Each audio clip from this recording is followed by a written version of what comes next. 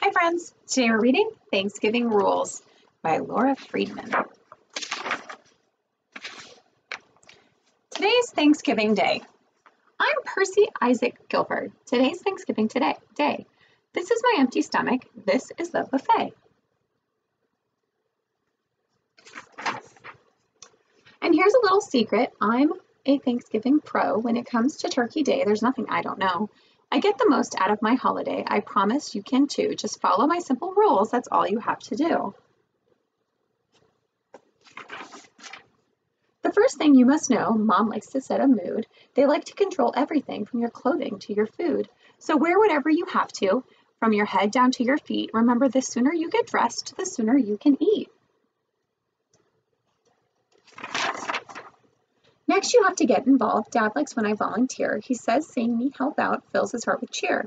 Rule number two, eat, drink, but first clean. Now I know that it's not that fun to sweep or clean or peel, but trust me when I tell you it's the fastest way to the meal. After you're done cleaning, I'm sure you'll want to eat, but you can't do that just yet. First, you'll have to greet. Ding dong! That means your family or friends arrive and you have to be polite, but here's a helpful tip. It doesn't have to take all night. I'm talking about the art form I call the quick hello, a simple friendly greeting, and then you're good to go.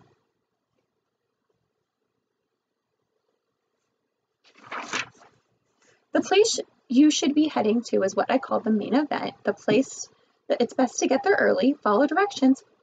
For directions, follow the scent. Now, please take a moment and savor this part of your day. For my friend, you have a ride at the Thanksgiving buffet. Yummy! Here's what here's where I can be the most helpful. It's time to fill your plate. Remember, the round thing in your hand can hold a lot of weight. Rule number five, the more the merrier. Start with piles of turkey. It's best when nice and hot, then pour on a little gravy. Better yet, pour a lot. From there, you'll want to add a little something on the side. This part can be tricky. Stick with me, I'll be your guide. First, take sweet potatoes. Trust me, they taste good. Don't be afraid of stuffing, even though it looks like wood. Definitely try the green beans for color and cranberry sauce. If you don't eat all of those, it will be your loss.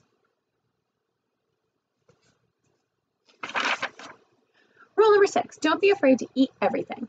Now the time has come to issue my Thanksgiving decree, Percy Isaac Guilford's official Thanksgiving decree. I officially command command you to eat everything you see. Eat beets, carrots, broccoli, pumpkin, squash, and yams. Eat soup, salad, pickles, chicken, ducks, and clams. Eat rice, mushrooms, walnuts, almonds, figs, tomatoes. Eat fish, veal, asparagus, corn, and mashed potatoes. Eat spinach, spinach, biscuits, cabbage, oysters, shrimp, and roast. Eat noodles, ham, and eggplant, and caviar on toast.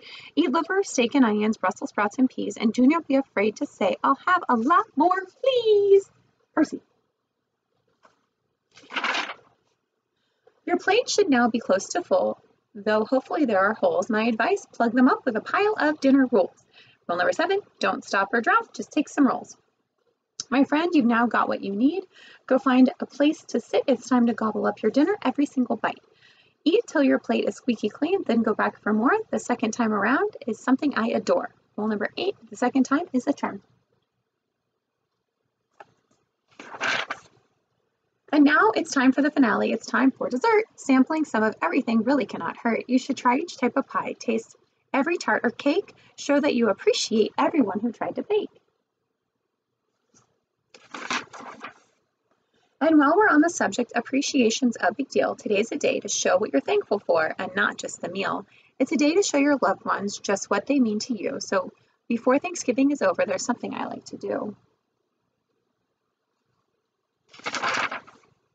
I give everyone around me their own Thanksgiving hug. I call it the Percy Isaac Special, which means it's big and snug.